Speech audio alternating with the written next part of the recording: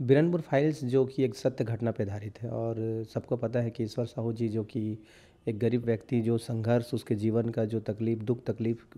से आगे बढ़ते बढ़ते आज विधायक है और पूरे साझा क्षेत्र के लोगों ने उनको आशीर्वाद जो दिया है। तो हम, मैं भी साझा क्षेत्र से हूँ तो उस स्टोरी को लेकर फ़िल्म बना रहे हैं। बीरनपुर में जो घटना हुआ था, वो तो रहेगा ही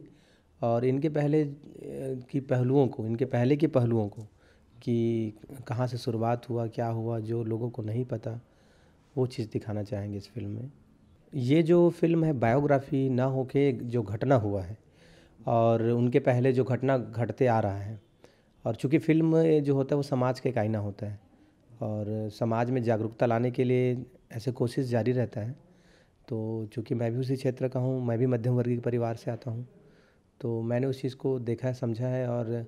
कोशिश किया है कि जो दुखद घटना घटा है तो हमारा छत्तीसगढ़ वैसे भी शांति प्रिय गढ़ है और ऐसा कभी किसी के साथ ना घटे। तो एक जागरूकता लाने की कोशिश है ये। जैसे आपके माध्यम से या मीडिया के माध्यम से आप लोगों के माध्यम से सबको पता है कि जो घटना घटी थी कैसा हुआ क्या हुआ। लेकिन कुछ कुछ ऐसे भी पहलू हैं जो आ, समाज को बताना ज़रूरी है। और इसके किसी व्यक्ति विशेष या जाति समुदाय को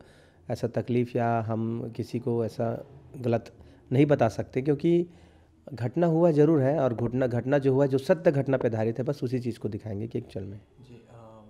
अभी जो पिक्चर है वो कौन से कौन से भाषा में बनाई जाएगी? प्रॉपर छत्तीसगढ़ है तो छत्तीसगढ़ी में बनाई जाएगी कि आगे भी कुछ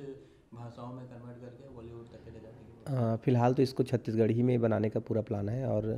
हिंदी का भी है फ़िल्म को, हिंदी का, हिंदी करेंगे इसको भी ताकि छत्तीसगढ़ को भी बाहर के लोग देखें और आज तो छत्तीसगढ़ सिनेमा बहुत आगे बढ़ चुका है।